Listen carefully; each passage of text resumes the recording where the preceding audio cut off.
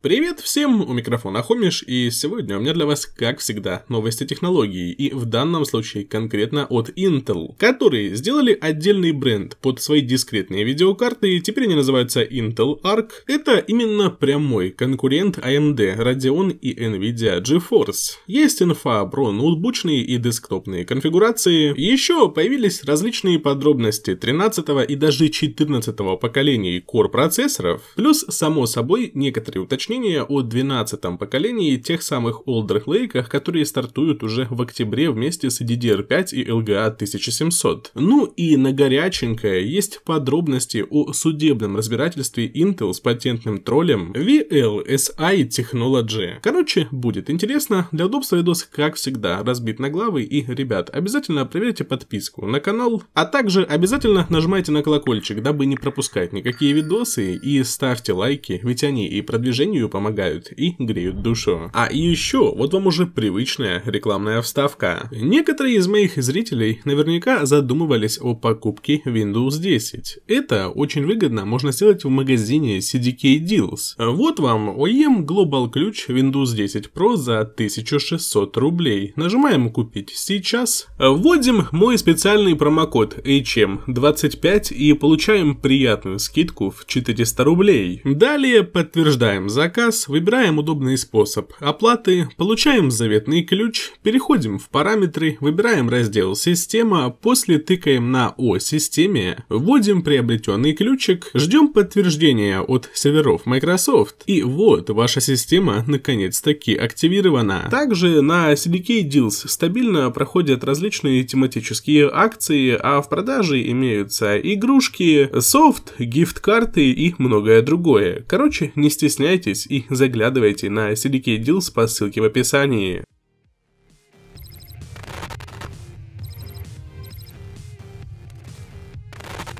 Пару дней назад синяя корпорация представила свой новый бренд Intel Arc, под которым и будут выпускаться видеокарты для геймеров. Вместе с этим процессорный гигант раскрыл ориентировочные сроки релиза игровых 3D-ускорителей с архитектурой XE HPG, что расшифровывается как High Performance Gaming. Их выход намечен на первый квартал 2022 года. Да, действительно, изначально были планы на конец этого 2021 года, но, как всегда, у синей компании все задержалось. Дебютным продуктом линейки Intel Arc станут графические адаптеры семейства DG2, которым даже было присвоено отдельное кодовое имя Alchemist. В будущем им на смену придут Battle Mage, Celestial и Druid. То есть DG2 это алхимики, DG3 это боевой маг, DG4 Celestial и DG5 это Druid. В этом совершенно нет ничего удивительного, ведь у всех компаний есть какие-то кодовые имена на свои графические графические процессоры. Например, у Nvidia это сейчас Ampere, а у AMD Big Navi. Правда, красные по неймингу как бы немного ближе к синим, чем те же зеленые. Если у Nvidia и наименование линейки и архитектура называются одинаково, то у AMD это RDNA 3 и Big Navi, а у Intel XE, HPG и Alchemist. В общем, видеоадаптеры Intel Arc Alchemist поддерживают все современные технологии, включая Shading, Variable Rate Shading, Ray Tracing и даже даже ожидается собственная технология сглаживания на основе искусственного интеллекта, что-то вроде аналога DLSS. Действительно, синие поначалу думали воспользоваться красной технологией Fidelity FX Super Resolution, но когда все это дело дебютировало, стало ясно, что красная технология полностью отличается от DLSS, а Intel скорее хочется аналог зеленой технологии, и именно поэтому они делают что-то свое, а масштабирование, насколько я понимаю, там и так будет. Тем более чипмейкер заявил о полной совместимости совместимости с API DirectX 12 Ultimate.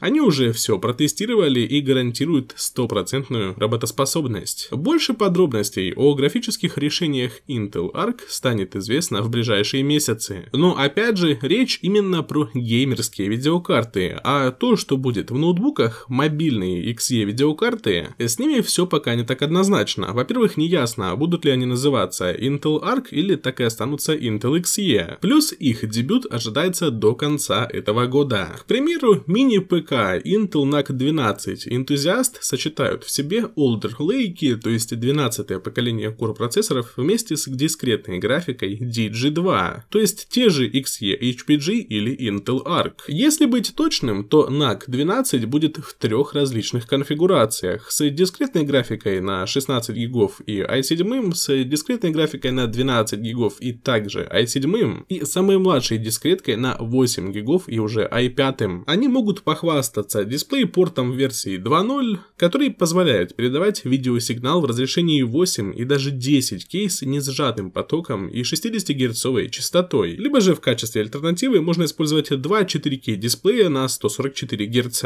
Это очень неплохо, тем более будет еще и мини-версия DisplayPort 2.0, а также HDMI 2.1. Правда, что печально, память используется DDR4, хотя 12 поколение уже поддерживает DDR5.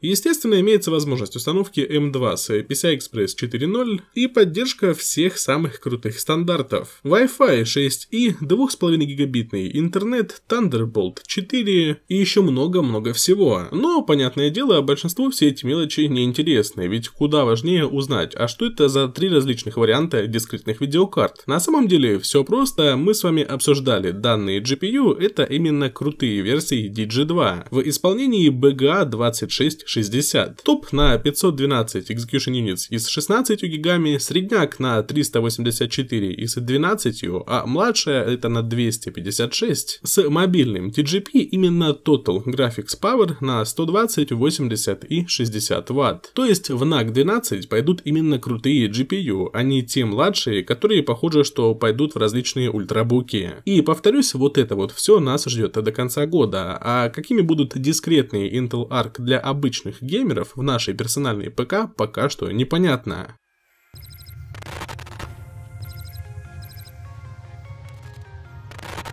Зато уже наверняка известно, что на октябрьском мероприятии Intel Innovation будут показаны Alder Lake, Core процессоры 12 поколения на платформе LGA 1700, где нас ждет гибридная технология, наконец-таки 10-нанометровый техпроцесс, новые архитектуры, хороший прирост к производительности и поддержка DDR5 памяти. Обо всем этом мы уже много раз говорили, но с момента выхода последнего выпуска про Intel появилась парочку новых подробностей Во-первых, нас ждут возросшие требования к блоку питания. Исходя из обновленных рекомендаций от синей компании, видно, что пиковые значения в некоторых направлениях выросли от 12 до практически 30%. Другими словами, вероятность срабатывания защиты от перегрузки по току в случае с 12 поколением заметно выше при сравнении с 10 или 11, особенно если используются маломощные блоки питания. То есть недавние прямо-таки горячие Lake могут оказаться еще слабенькими по сравнению с Олдерами. Также есть некоторые уточнения и по семейству Older Lake P. Это 12 поколение под ноутбуки. А именно, Gigabyte засветили инженерный ноутбук с идентификатором Aorus 17YE5, оснащенный инженерной версией 45-ваттного Older Lake P. Вот вам примерное разнообразие моделей. Это именно H45 процессоры, которые нам представят в трех вариантах. 12-ядерные i5 и 14-ядерные i7 и i9. А 16-ядерные процы теперь пойдут в отдельное направление H55 с возросшим TDP. И, кстати, втрое урезанной интегрированной графикой. Когда у H45 процов это будет 96 execution units, у H55 всего 32. Как, например, сейчас у мобильных рокетов. Да, имеются еще и различные урезанные линейки, типа новенькие 5-ядерные ядерные М5 процы, 6 и 10-ядерные Ю9, примерно такие же Ю15 и Ю28, которые, в общем-то, повторяют H45 линейку, но укладываются в меньший теплопакет. В общем, разнообразие мобильного 12 поколения будет прямо-таки серьезным. И один из таких чипов, скорее всего Core i7 12700H или 12800H, отметился в составе вот этого вот тестового ноутбука от Gigabyte. С той же интеграшкой и, что немаловажно, 16 гигабайтами DDR5 на частоте в 4800. От SK Hynix, естественно, в маленьких вариантах SO DMM. Официальный дебют таких решений состоится до конца этого года. И лично меня прям очень порадовали вот эти вот начальные линейки с маленьким TDP и неплохой интегрированной графикой.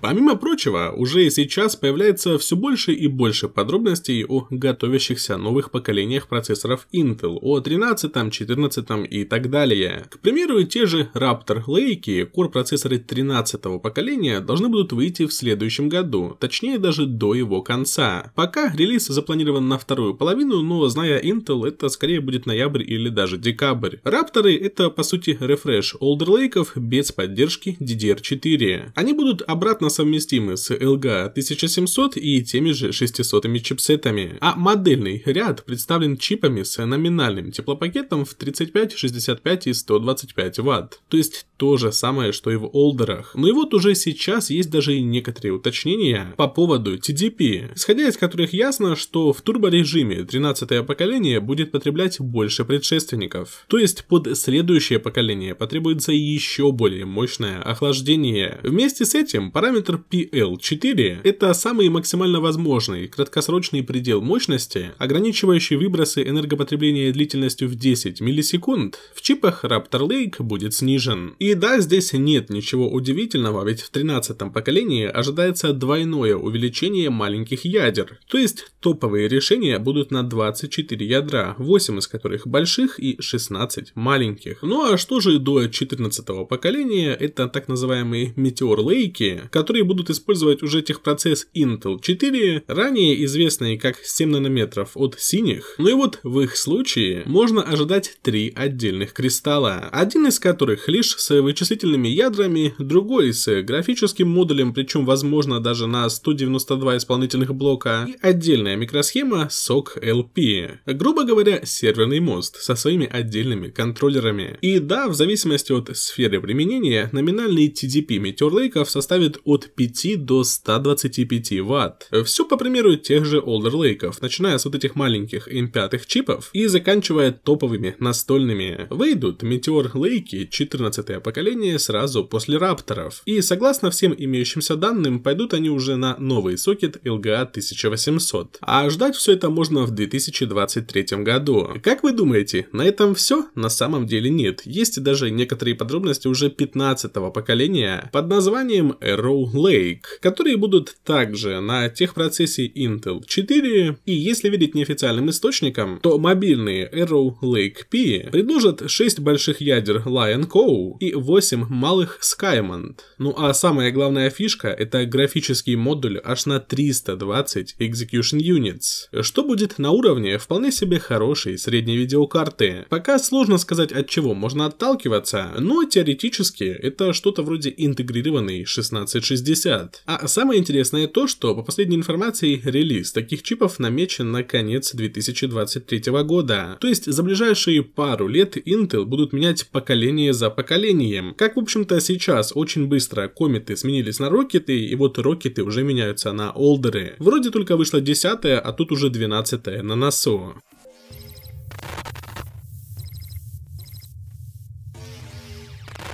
Ладно, хватит уже так далеко забегать, давайте лучше поговорим про недавнее судебное разбирательство Intel против патентного тролля VLSI Technology. Intel старались добиться отмены вердикта, недавно вынесенного присяжными, согласно которому синие должны были выплатить патентному троллю более 2 миллиардов долларов. Вердикт присяжных был вынесен еще 2 марта этого 2021 года. Дело все в том, что VLSI владеют двумя патентами, которые ранее принадлежали Нидерландам американской компании NXP Superconductors NV, которыми вроде как пользуется Intel, не выплачивая никаких отчислений. И вот VLSI через вот это вот недавнее судебное разбирательство добились выплаты в полтора миллиарда и 675 миллионов за нарушение прав интеллектуальной собственности. Плюс в общей сложности они требуют 7 миллиардов и 100 миллионов в качестве компенсации за ущерб, плюс будущие лицензионные отчисления, гонорары адвокатов, издержки издержки, проценты и прочее. В то время Intel и вовсе утверждают о том, что ее общие выплаты могут достигнуть аж 11 миллиардов долларов, если они проиграют судебные тяжбы во всех штатах. Тем не менее, представители синей компании уверены, что такой вердикт был вызван некорректным инструктажем присяжных, а также выводами суда на основании некорректной доказательной базы. Тем не менее, еще в апреле Intel удалось избежать штрафа аж в 3 миллиарда в другом патентном разбирательстве с той же VLSI. Но чтобы до конца понять, кто прав, кто виноват во всей этой ситуации, нужно очень долго разбираться. И если кратко, то одни эксперты уверены, что VLSI Technology это на самом деле патентный тролль, который просто трясет бабки и пудрит мозги суду и присяжным, а другие наоборот считают, что Intel действительно пользовались патентами, за которые нужно было платить, от чего они уходили. Если у вас есть какое-то свое мнение на этот счет, то обязательно поделитесь им в комментариях. А также, ребят, подписывайтесь на канал, если еще этого не сделали, ставьте лайки, если вам понравился выпуск, и нажимайте на колокольчик, дабы узнавать обо всем интересном раньше остальных. Спасибо за просмотр, удачи и до новых встреч!